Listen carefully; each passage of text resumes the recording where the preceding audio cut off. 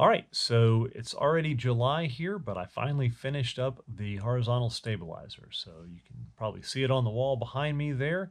Finished it a couple of weeks ago, and I've got a lot of raw footage to put together and get out there on that.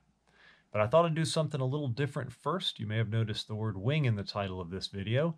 And the only reason I have anything wing to talk about is because turns out I got my wing kit in uh, way back at the end of March.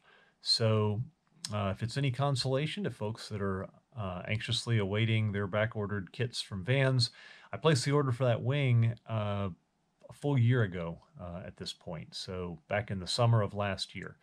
My expectation at the time was that it would take about six or seven months to get here and that I'd be ready for it.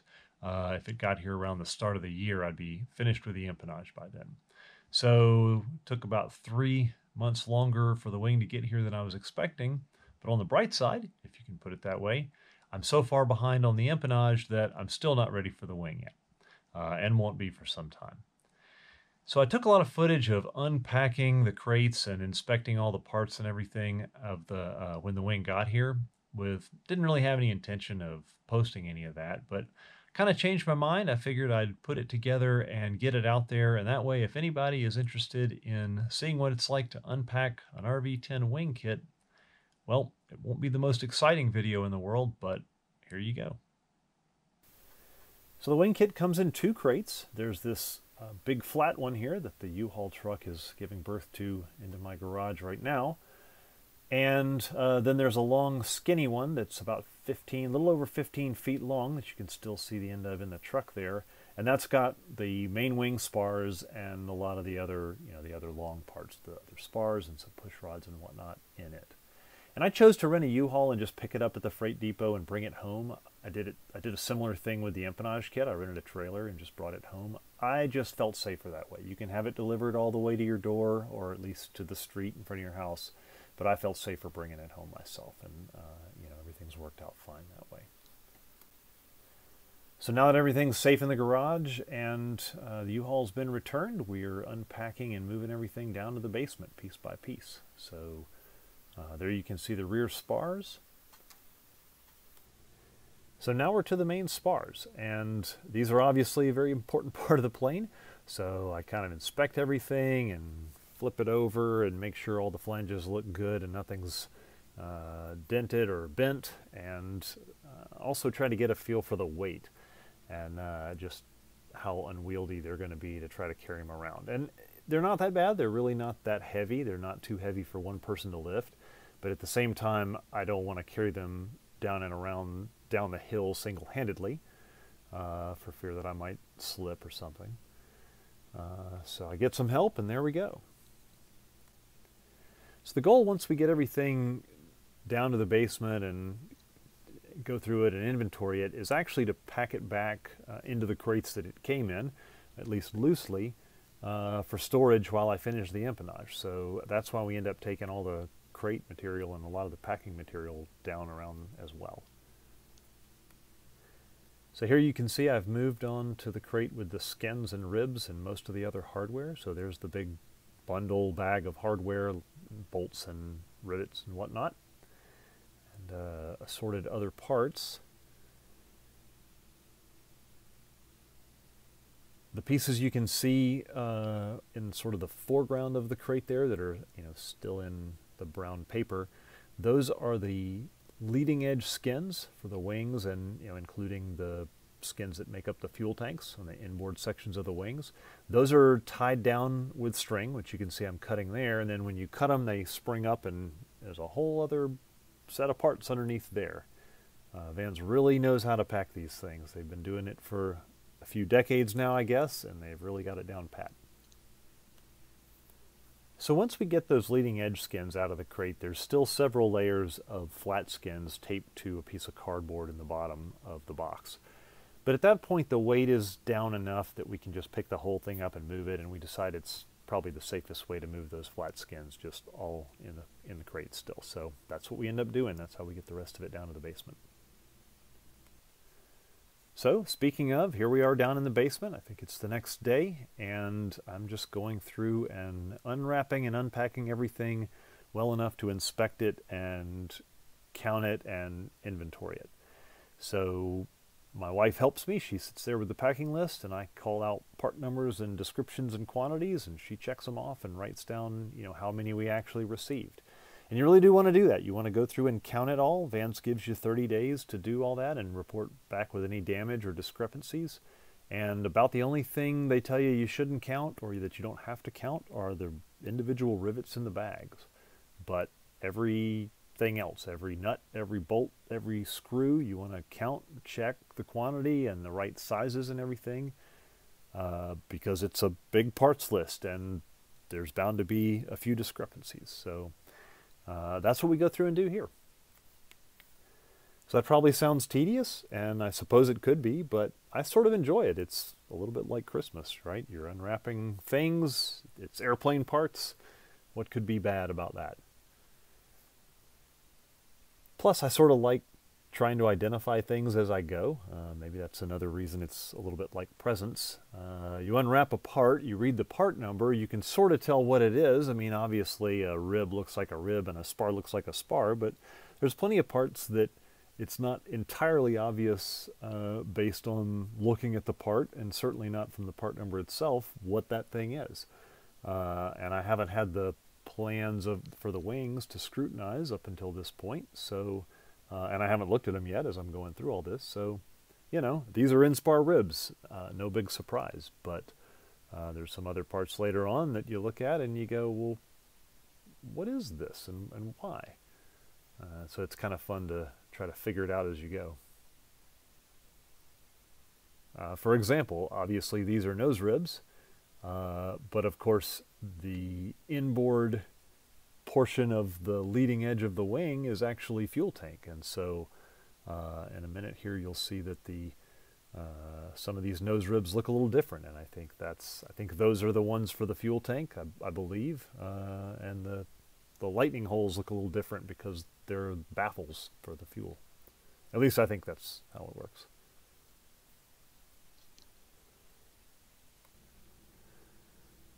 And so this is the rest of the fuel tanks. This is the part that seals the tanks off from the main spar and makes them sort of a self-contained unit that's mounted to the leading edge of the wing. And this looks like some leading edges for flaps and ailerons, I think. And one thing about Vans and their packing, they have found the stickiest, thickest, most effective duct tape on the market and used it to uh, tape all these parts together. Because I spend a lot of time uh, just trying to peel that duct tape off.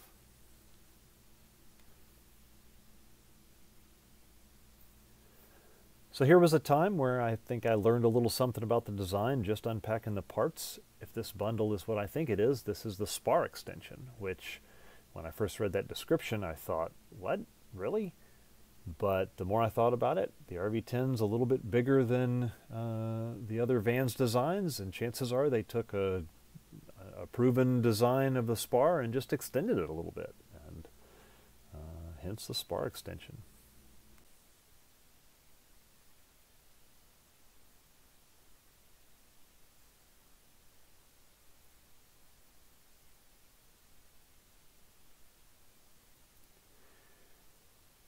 So when it comes to parts like these that I've unwrapped a big bundle of parts and unpacked them, I don't try to repack them all. I just put them nicely in a box and put it away for safekeeping.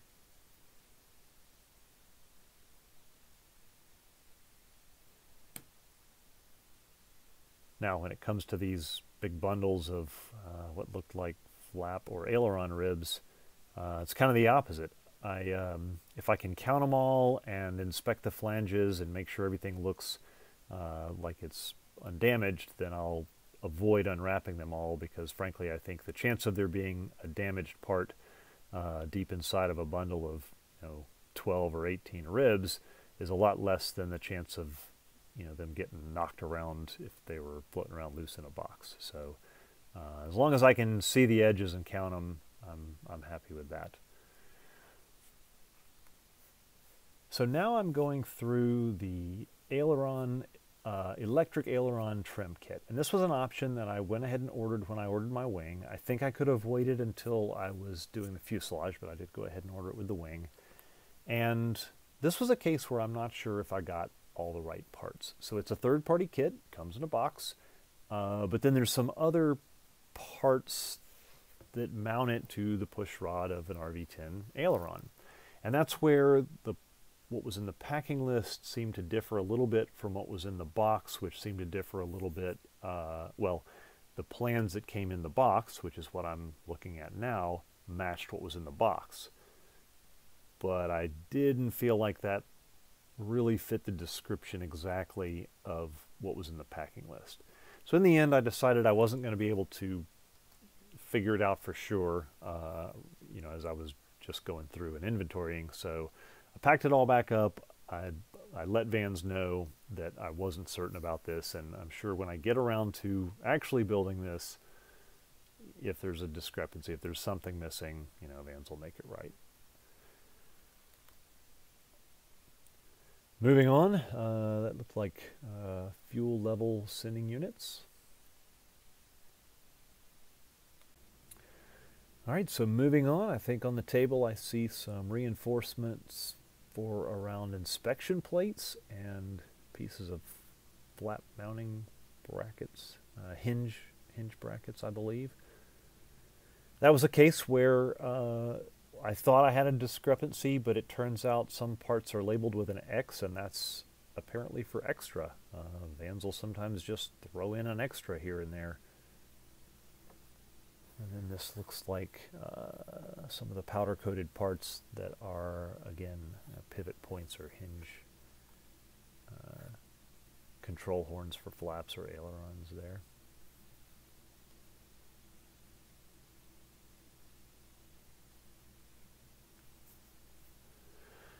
So moving on to some of the longer pieces um, that came in the spar crate. Uh, looks like some pushrod tubing or maybe torque tube.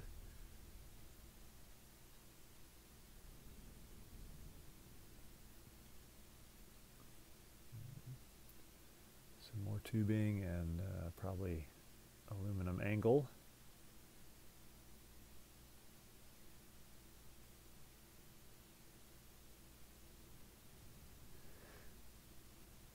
I know it's entirely possible that I've already got some fuselage parts because uh, I do remember reading in the documentation that came with this kit there are some parts, uh, some fuselage parts that are long enough that they go ahead and send them in the long crate uh, with the spars because that keeps them from having to send another long crate when they send the fuselage kit. And speaking of spars, that's what these are. Um, I guess probably rear spars for the wings and uh, spars for aileron and flaps.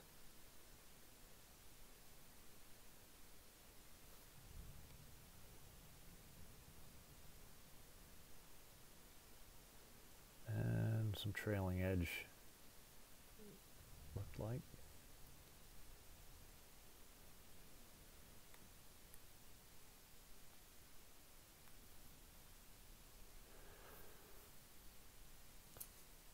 And so finally, the main spars.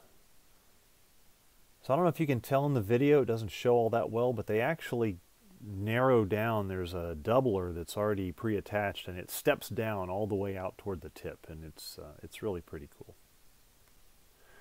So that's about it for the main components, at least the ones that I have video of. Um, so now just moving on to unpacking the big bag of hardware. So probably won't show a whole lot of this. Uh, this is already probably the least exciting video on YouTube. I can't imagine showing a headless guy counting screws is going to help matters. Uh, but it's something you definitely want to do. You know, I found a bag of rivets that was the wrong type of rivet. Um, they were 470s instead of 426s. And I had a bag of nut plates that was a couple short. And there's more than just you know rivets and screws and bolts in here. There's uh, bearings and you know, hinge bearings and electrical components and fuel fittings. So you definitely want to go through all this stuff and make sure you got what you were supposed to get.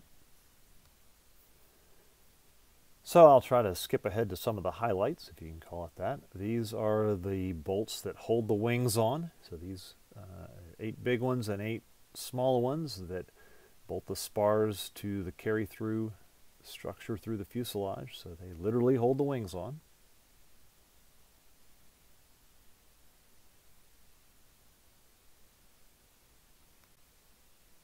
And I guess I just couldn't resist actually showing me sorting and counting a bag of screws.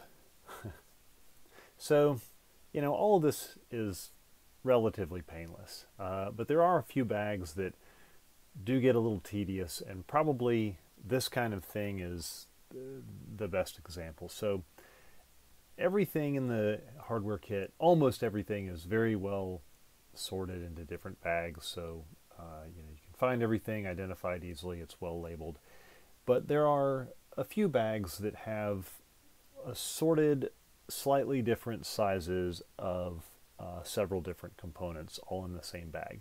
And this is kind of an example, these uh, bolts or screws, where you have the same type of screw and the you know the same size but different lengths. Uh, and so you, you have to sort them and make sure that you got the right number of each of the various lengths. Not so bad with screws, right? But uh, probably the worst is a bag of, you know, probably about 100 washers. I don't remember the exact number, but a, a lot of washers, all of them the same size and type, with the exception of just a few that are slightly thinner than the rest.